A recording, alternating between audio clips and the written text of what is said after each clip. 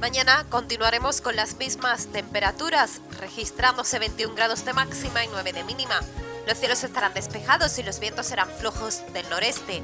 En Chipiona igualmente las temperaturas no varían, llegando a los 21 grados de máxima y los 9 de mínima. Los vientos serán también procedentes del noreste.